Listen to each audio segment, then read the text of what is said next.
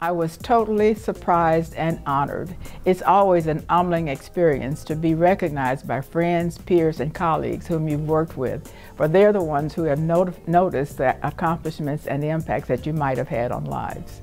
I first met Carolyn Blakely when she became a member of the faculty at Arkansas A&M College. I believe the year was around 1968. I only knew her casually from afar, but I became very well acquainted with her when our sons became fast friends at the A&M College Nursery School. My connection to Dr. Blakely is I was one of her students in the Honors College and I was one of her colleagues when I began working for the University of Arkansas at Pine Bluff. Additionally, I'm one of her sorors it's good to know that an event that I was a part of, establishing during the, during the time that I was an assistant to another chancellor, is generating funds now to support scholarships, to support projects, to support activities for students in music, theater, mass communications. Dr. Blakely's influence on the University of Arkansas at Pine Bluff goes without mention. Uh, she was very influential during her tenure as interim chancellor Additionally, she is the reason we have an honors program here at the university. She founded the program, and not only did she found the program here at the university, but she was also one of the co-founders of a national organization of honors programs for African American students. So her reach goes far beyond UAPB. She has gone through many changes in job positions from faculty member to administrator and has served the university uh, as director or organizer of the Carolyn F. Blakely Honor Society, as uh, acting chairperson of the English department, as uh, acting uh, interim chancellor, and has in many, many ways provided her expertise and her knowledge to the university.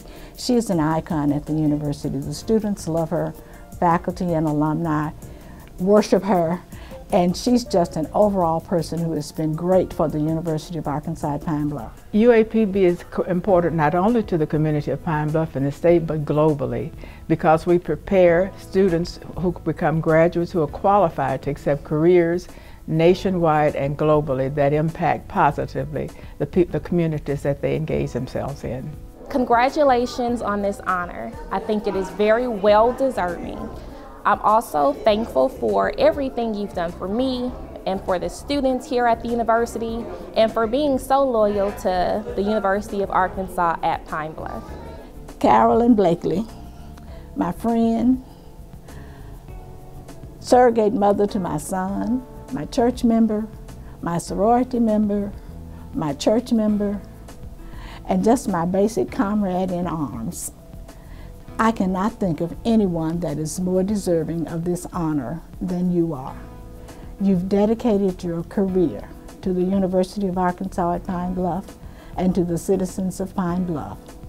It is rare that we find an individual who has the energy, even at your age, which I will not divulge at this moment, to do the things that you do for your community and your university.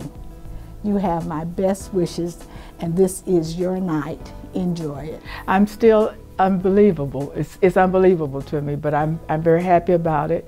I'm very appreciative of it, and I am grateful to the university for preparing me to do the things that I did for the university.